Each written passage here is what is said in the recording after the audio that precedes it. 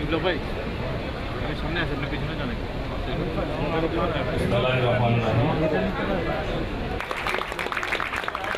পক্ষ থেকে, বিসিবির পক্ষ থেকে বাংলাদেশ ক্রিকেট বোর্ড কর্তৃক প্রদত্ত আর্থিক প্রদানার চেক। এখন নিচ্ছেন সাবিনা খাতুন।